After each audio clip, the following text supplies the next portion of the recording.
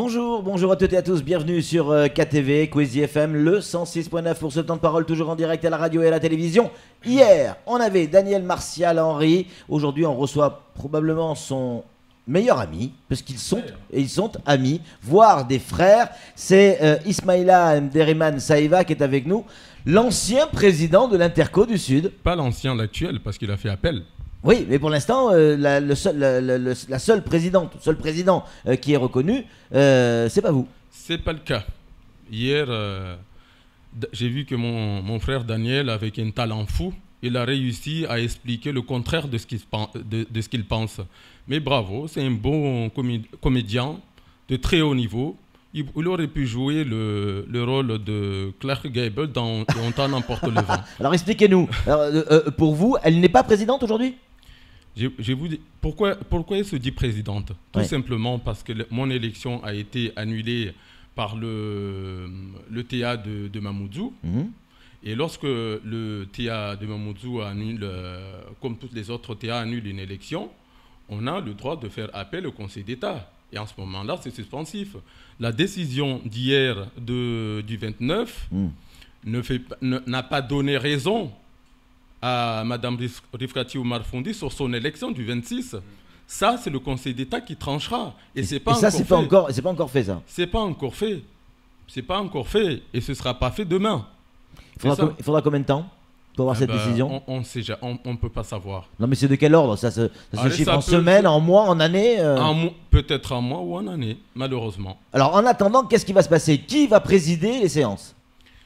Ben écoutez, si euh, les choses se passent, il ne faut pas que ça se passe comme ça. Vraiment dans l'intérêt de Mayotte et dans l'intérêt de ces territoires pour le Sud, un territoire qui a tant besoin de développement, c'est pas la solution. Je crois que la solution aujourd'hui, ça serait de faire remettre les choses à plat.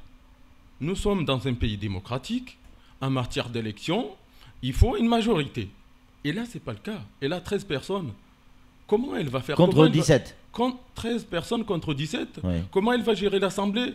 Tout sera... Bah, comment vous avez toujours, vous avez toujours la possibilité, dans l'intérêt général de cette zone, donc l'inter- l'interco euh, du Sud, euh, bah, d'aller et de faire avancer le, le- le truc et pas forcément de bloquer systématiquement. Que- quelle est euh, votre, votre position aujourd'hui? Est-ce que vous avez envie effectivement de faire en sorte que, bah, que, que- que les choses avancent et se déclenchent ou vous êtes véritablement dans l'opposition et vous vous dites, bon, mais on, on bloquera tout toute décision sera bloquée. Non, moi, je veux bien qu'on fasse avancer les choses, Oui. mais dans des- sur des bases saines. Il n'y a que comme ça. Quel exemple on, donnerait de la, de la- on donnera de la démocratie? Quelqu'un qui est minoritaire. Aujourd'hui, avec 13, il- euh, on l'aide quand même à faire fonctionner euh, l'institution. C'est quelque chose qu'on connaît non, déjà, Ismaïla. Non, non, mais je, je vais aller jusqu'au bout de, Ouais. de mon raisonnement. Quel exemple ça serait pour, le, pour les futures échéances? Moi, j'ai pas, ça- serait, ça serait comment? Moi, j'ai pas une majorité. Hmm. Je vais euh, organiser euh, les élections juste pour me faire élire et puis je, je- ce sera cassé euh, par le, le tribunal administratif. Je fais euh, appel au Conseil d'État et puis je bloque tout jusqu'à ce que la majorité me donne la possibilité de, de gérer la structure. C'est mauvais. C'est un très mauvais, mauvais exemple de la démocratie. Donc en attendant, on fonctionne comment? En attendant, on ne peut pas fonctionner. Patrick. Donc en attendant, on pas- fonctionne pas. on ne peut pas fonctionner. La seule, vous savez, c'est une affaire très très simple. hein. Les hommes essayent de compliquer cette, euh, cette affaire pour des raisons euh, personnelles, pour des vengeances personnelles, mais c'est des choses qui ne devaient pas avoir leur place dans cette affaire, parce qu'on met en péril le développement du territoire, on met en péril euh, certain nombre de choses dont ils ne sont pas conscients. Vous- je ne veux pas vous faire le rappel de tout ce qui s'est passé depuis le 25 mars. On convoque, on ne vient pas. On fait une deuxième convocation, on écarte euh, des élus, on les remplace par d'autres. Tout de suite, et lorsque les, les, euh, les décisions sont annulées par le tribunal, au lieu de se dire, bon, on va faire les choses bien, on ne va pas faire appel, on va faire notre, la politique pour essayer de récupérer des personnes dans le camp en face. Mais- d'en face. Mais il y a eu comme un, un- geste de bonne volonté et démocratique le 28 juillet quand le maire de Bandrélé a accepté de reconvoquer les, conseillers communautaires pour une nouvelle élection à laquelle vous avez été élu d'ailleurs. Tout à fait, tout à fait.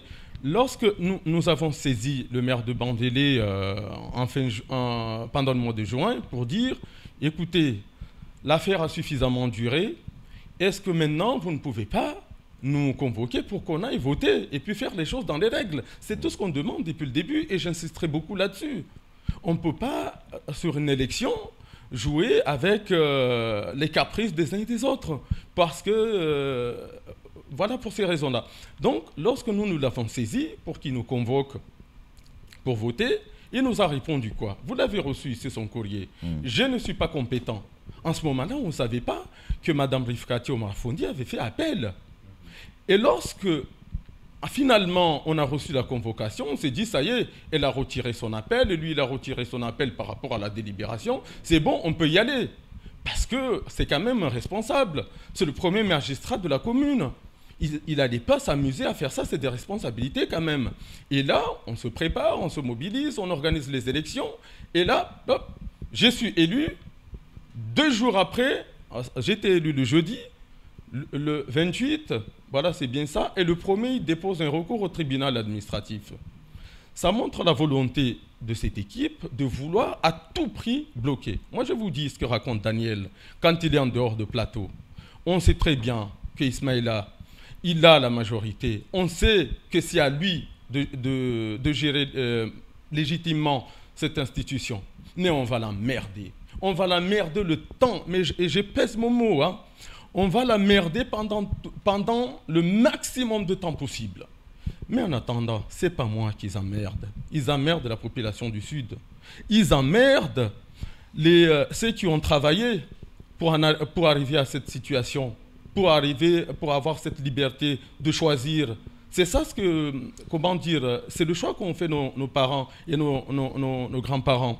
Donc là, ils, sont en train de mettre, euh, comment dire, euh, le Sud dans une situation de blocage impossible. Oui, mais on a l'impression que tout le monde reste sur sa position Non. et que personne veut, veut avancer. Moi, Vous, je vais avancer. Mais vous avez la possibilité, vous, Ismaïla. de- Vous êtes majoritaire. Oui. D'accord Vous avez 17 élus pour vous contre 13. Là-dessus, on est tous d'accord, il l'a reconnu hier, Daniel. Euh, vous avez la possibilité de dire bon, bah, allez, on sort du bac à sable et on fait avancer dans l'intérêt général, qu'il faut peut-être pas oublier. Dans l'intérêt général, on fait avancer l'Interco du Sud, ça y est, on engage les bons de commande, on engage les réformes, on engage euh, ce, qui est, ce qui est à mettre en place, la zone industrielle, etc., etc. Il va falloir à un moment donné, vous le dites à l'instant, on emmerde la population. Mais euh, en restant dans le bac à sable, Non. il y a un moment donné, il va falloir, qu'il y en ait un qui sorte du bac, du bac à sable. Écoutez, lorsque je, je suis tout à fait d'accord avec vous, mais cet exemple que vous avez donné, Oui. où est-ce que vous avez vu se pratiquer ça dans un, euh, ça dans un pays démocratique On l'a vu au conseil départemental. On a déjà vu un président avec, et- et- qui- Minoritaire. Qui, qui- qui préside avec. euh, euh, Est-ce qu'il était minorité? minoritaire? Il était le président était minoritaire. Hmm. Comment Dites-moi, donnez-moi un exemple dans un pays où un président qui a été élu avec une minorité a comment dire s'est arrangé avec euh, le camp en face pour gérer. Vous savez, c'est une question. Mais la cohabitation, ça a existé. On, a, on se rappelle de ce qu'a fait Donnez-moi un Jacques Chirac exemple. Non, non. euh, également. euh, Jacques Chirac, à quelle année. Pour quelle euh, élection Avec Jospin, en effet, jusqu'en 2002. Ouais, Excusez-moi, juste pour être sûr de bien comprendre, j'aimerais savoir légalement, Mhm. selon vous, qui doit s'asseoir dans le fauteuil. Mais très simplement, le président. Je vous, je vous explique. Je reviens encore une fois.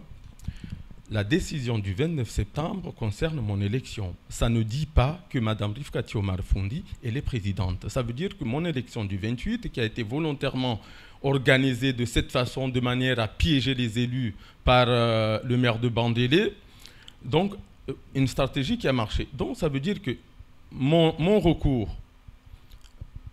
Attendez, je reviens un peu parce que je m'en mêle un peu, c'est Ouais. vraiment du judiciaire. Alors, c'est mon appel de la décision du 28 septembre rend suspensif. Ça veut dire que j'ai exactement les mêmes do- euh, droits que Mme Rifkati Omar. C'est-à-dire que c'est un fauteuil pour deux? C'est un fauteuil pour deux, une situation vraiment de, bloca- de blocage qu'ils ont toujours souhaité depuis le début. Ça, c'est une volonté de cette équipe depuis le début, c'est de bloquer. Mais alors comment ça va se passer concrètement? Alors là, Alors, je vous là, là, là, on, par- on parle de On va politique. dans les solutions. Moi, Ouais. je préconise. Vous savez, nous avons tous les deux fait appel. Hein?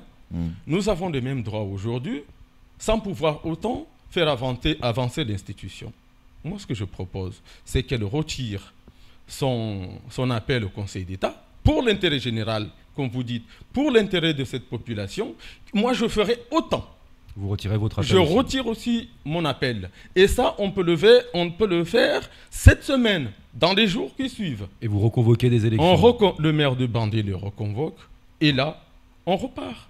Tout simplement. Et Ah, je ils vont sais jamais que- accepter. Vous savez très bien qu'ils vont jamais accepter. Mais pour quel intérêt ne pas accepter ça alors que c'est avec cette solution, on peut régler le problème en une semaine, Démocratiquement. démocratiquement. Pourquoi refu- refuser cette solution? Alors que c'est la solution qui ne lésera personne. Parce que c'est la, la- la démocratie euh, euh, euh, aura exprimé. Ça veut dire que ceux qui, qui attendent des décisions euh, aujourd'hui euh, de l'Interco du Sud, euh, des, des prises de position, des engagements, on parlait de bon de commande tout à l'heure, il y a des engagements qui vont être faits là, dans, les, dans les semaines qui viennent. Quelle valeur ils auront ces engagements, selon vous? Alors, si ce qui est vraiment improbable, hein, Hmm. ce qui est quasiment impossible, parce que les textes n'ont pas changé, Hmm. si Mme Rifkati, Omar Fondi prend des décisions en Assemblée, Hmm. tant- ça n'a- ça n'aura pas de valeur, parce que le, le préfet n'acceptera pas, puisque elle, elle n'est pas la seule compétente. Si, moi, par, et surtout que la décision le prendra à 13 contre 17. Là, c'est notre problème. Si moi, je prends des décisions, ce sera à 17 contre 13. Ça passera, ce sera légal, il y aura la majorité. Sauf que il y a une autre présidente, une, autre présidente à côté. Donc, du coup, c'est, comment dire, ça ne cessera pas. Le problème, ça ne sera pas débloqué. Moi, je vous dis, et j'insisterai encore, si on aime ce pays, si on attache de l'importance aux combats qui ont été menés par nos, nos, nos parents, Nos aînés, ouais. nos aînés, quand on passe à l'intérêt général, il faut parfois mettre de côté son orgueil, il faut parfois mettre de côté ses- les vengeances personnelles pour... Et vous vous l'appliquez à vous-même, ça aussi? Je, je l'applique, moi aujourd'hui, moi franchement, si j'étais à sa place, j'aurais retiré mon appel. J'aurais retiré mon appel parce que ça ne sert absolument à rien. Elle ne peut pas faire fonctionner l'Assemblée, c'est impossible. Et quand j'entends Daniel Martial, euh, comment dire, scander partout, elle est la seule présidente, etc., etc. Mais ce n'est pas le Conseil d'État qui a décidé. Nous, nous sommes dans un pays de droit, il y a le principe d'égalité. Nos deux élections ont été annulées par le, le TA. Nous avons tous les deux euh, Alors, fait appel au, euh, au- Conseil d'État. Il y a Oui. une précision qui est vraiment importante pour que tout le monde comprenne. C'est que quand vous avez été élu le 28 juillet dernier, ça s'est fait dans, dans une procédure normale, les élections ont été invalidées par le tribunal administratif, mais pour un motif, non pas que ça se soit mal passé, c'est simplement qu'il euh, y avait un, un- un- comment dire, le Conseil d'État ne s'était pas prononcé sur une première demande. Donc ils ont invalidé votre élection, pas parce que c'était mal passé, mais parce qu'il fallait attendre la décision du Conseil d'État. On est bien d'accord, c'est bien ça? On est bien d'accord, mais Il y a pas une eu de tromperie- magouille Non, non, mais c'était une tromperie organisée par M. Ali Moussa, le Ça, maire c'est de Bambéry. en effet. Lorsque il nous- Lorsqu'il refuse notre appel pour la première fois, l'appel à aller, aller revoter, il dit qu'il n'est pas compétent. Ça, quand il a dit ça, nous on s'est dit, bon, ben, écoutez, il n'est pas compétent, qu'est-ce qu'on peut faire? C'est Madame Rifkati au Marfondi qui est compétente pour nous convoquer. Là, elle ne nous convoque pas. Mais, quelques semaines plus tard, il nous convoque. On s'est dit, ben ça y est, il a retiré son appel concernant les- la, la destitution des deux euh, élus. Madame Omar Fondi a probablement aussi retiré son appel concernant l'annulation de son élection. Là, on peut y aller. Mais sinon, si j'avais su qu'il- n'avait pas retiré, euh, que Madame Rifkati, Omar Fondi n'avait pas retiré son appel au Conseil d'État, jamais j'aurais fait le déplacement pour aller voter. C'était ridicule. Quel spectacle qu'on donne à la population en faisant ça la responsabilité de maire de Bandélé en organisant ces élections de cette façon, juste dans le but de gagner du temps. Encore une fois, on gagne du temps, on va l'emmerder, on va l'emmerder. Ismaïla, si Oui. effectivement le Conseil d'État euh, euh, ne vous donne pas raison, c'est possible, c'est eux qui décident. C'est- possible. Euh, que- quelle va être votre attitude à ce moment-là? Vous vous retirez définitivement? Vous savez, sur mon cas, il peut, le, le- le tribunal administratif n'interprète rien. Il y a une convocation, qui n'est pas, qui n'émane pas d'une autorité compétente pour, euh, pour, la, pour la sortir, c'est nul. Il ne regarde pas autre chose. Tandis que le Conseil d'État pourrait faire une, une analyse beaucoup plus approfondie. D'accord. Parce qu'ils peuvent changer la. euh, Ils peuvent. euh, comment dire. Répondez à ma question, s'il vous plaît. Mais j'y vais, je, je vais y venir pour, pour vraiment que les gens comprennent. En conclusion, En conclusion, Madame Rivka dit, euh, Omar Fondi, lorsque euh, son, son- son cas est très clair, le tribunal administratif a été très clair. Tant que les deux élus de Bandélé ne démissionnent pas ou qu'ils ne meurent pas, elle ne peut pas, le maire de Bandélé ne peut pas les, euh, les destituer. Ils étaient obligés de participer à cette élection. Et ça, c'est clair. Et les textes ne ne- ne- n'ont pas changé en six mois et ne changeront pas euh, dans, dans- dans les mois Donc à vous venir. êtes convaincu Voilà. que vous allez gagner, euh, la décision Mais encore euh, une du Conseil d'État ira en votre faveur. Mais si c'est pas le cas, Si c'est pas le cas, eh ben, je, je, je- non, je peux pas aller plus loin de toute façon. donc vous vous retirez. Et mais on se, on- on se- Non, non. on se retrouvera quand même avec euh, une minorité et une présidence. Non, non. Dans tous les cas de figure. Je, je- je vous explique. Si jamais, de, de toute façon, elle, elle a fait appel avant moi. Hmm. Et si le, tri- le- le Conseil d'État juge son affaire avant, il y a des chances que ça passe avant. Là, je serai le seul président restant et je convoquerai tout de suite. Hmm. Je convoquerai tout de suite parce que ma volonté aujourd'hui, c'est de convoquer pour que les choses se passent en fait dans les règles. Hmm. C'est pas pour gagner du temps. On gagne peut-être eux ils gagnent du temps, mais ils font perdre des, des millions. À Mayotte, ils, Hmm. ils font perdre des millions euh, au territoire du Sud qui en a tant besoin. On Merci. peut pas jouer avec ça. Merci beaucoup euh, Ismaïla. Il y a beaucoup beaucoup de questions hein, qui, euh, qui arrivent sur le standard au 06 39 69 71 00. Pour l'heure, c'est tout pour ce temps de parole. Vous restez encore quelques minutes avec nous et Ismaïla si vous êtes d'accord évidemment. C'est tout pour ce temps de parole tout de suite. La suite de nos programmes.